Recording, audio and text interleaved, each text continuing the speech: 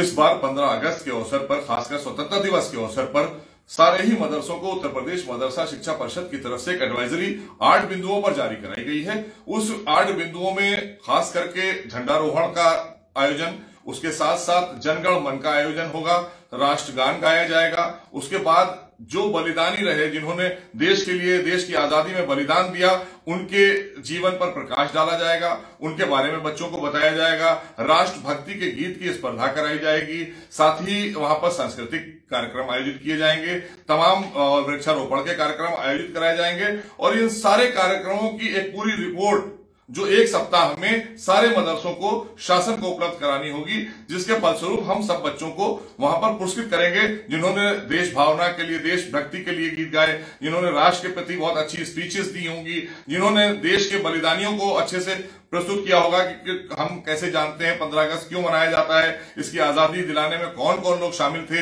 हम देशभक्ति को लेकर लोगों के अंदर अवेयरनेस पैदा करना चाहते हैं, मदरसे के बच्चों में भी देश प्रेम, वतन की मोहब्बत, जागरूकता, इस तरह की जागरूकता आना चाहिए। ये उद्देश्य है हमारी